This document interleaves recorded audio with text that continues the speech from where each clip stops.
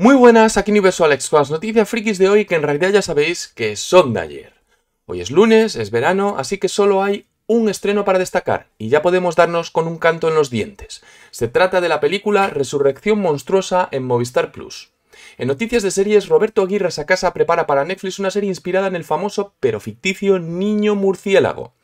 George R.R. R. Martin confirma que, aparte de La Casa del Dragón, que acaba de terminar su segunda temporada, y El Caballero de los Siete Reinos, que es el próximo spin-off, hay siete spin-offs más de Juego de Tronos en desarrollo. Tres son de animación y cuatro de imagen real. Ojo que que estén en desarrollo no significa que puedan acabar viendo la luz del día, algunos se pueden quedar por el camino. En desarrollo también una serie de animación de Evil Dead con Bruce Campbell volviendo al papel de Ash para ponerle voz, y arranca el rodaje de la temporada 2 de Percy Jackson y los dioses del Olimpo.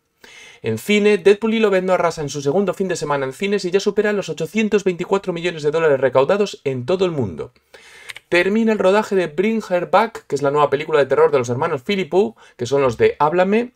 Y ahora vamos con los trailers, que os dejo como siempre enlaces en la bio y en los comentarios, dependiendo de dónde estéis viendo este vídeo, tenemos el de la remasterización en 4K de los 7 Samuráis, que se lanzará para celebrar su 70 aniversario, y también un adelanto de lo próximo que se viene a Max, que incluye vistazos a la temporada 2 de The Last of Us, la serie precuela de It, Welcome to Derry, el nuevo spin-off de Juego de Tronos, que es El Caballero de los Siete Reinos, y la temporada 3 de White Lotus, entre otras cosas.